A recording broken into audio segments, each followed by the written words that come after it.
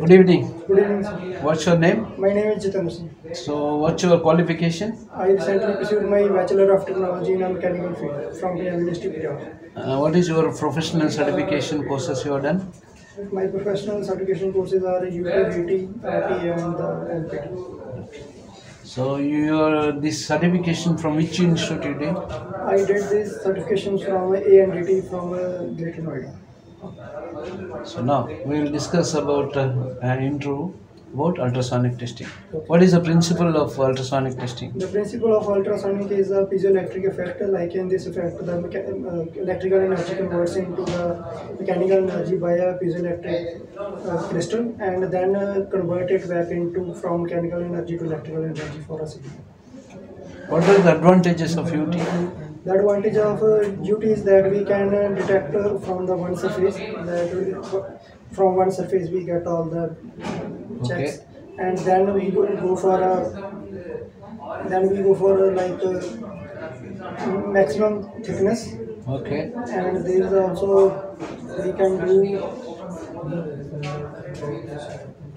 Hmm. Can you find out depth of the discontinuity? yes we can find the depth of the I will say Okay. Now, uh, what is the advantage of UT over RT mainly? The UT, the advantage of the UT over RT is the first is the safety hazards. Like in UT we are safe totally, and in uh, RT we are exposed to the ultra radioactive Radiation. radiation, like radioactive isotopes used in that. So, what are the types of probes you have? We have a three type of probes: uh, U, uh, TR probe, normal beam probe, and the angle beam probes. So, TR probe, when you use TR probe? TR probe used for a pipes and the welds. So, any thickness uh, limitation, thickness something is there? there is a no limit, uh, thickness limit. Like uh, No, no, especially TR probe when you will use. When we need to check the discontinuities in pipes and the welds. TR probe. TR probe check for the thickness.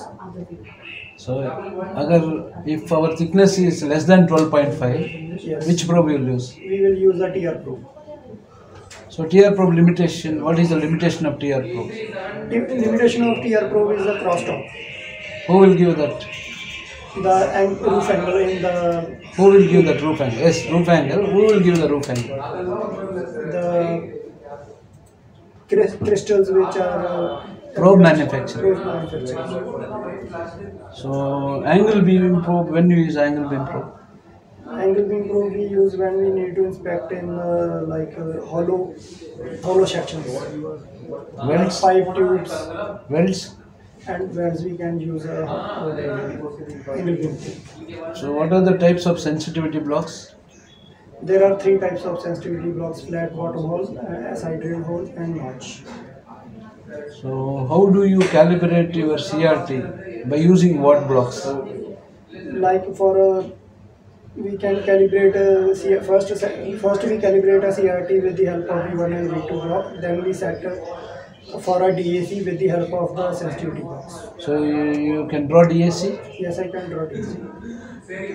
So, what is the specification for uh, uh, solid steel forgings? What is the Specification, standard specification for solid steel forgings. uh, SA SA three three thirty eight. 388. Uh, 38, 388. 388. The specification for steel products, steel solid products are the SA 388. What is sensitivity? The sensitivity is the ability to detect the smallest discontinuities. So, in UT, what is the smallest discontinuity you can detect? In UT, we can detect uh, to Lambda by? lambda by 4. So, you should remember, huh? Yeah. Okay, because you are busy with the training and all. Okay, fine. So, if I give a job, Yes. clear? Yes. So, before doing the UT, what are the information you need? First, I need the like uh, on which product we need to UT, and uh, then we need a specification like a material. After that, uh, like uh, which type of UT we need, like weld or the surface or the plate. After that we need the same material of and need for a blocks Very good. Thank you. thank you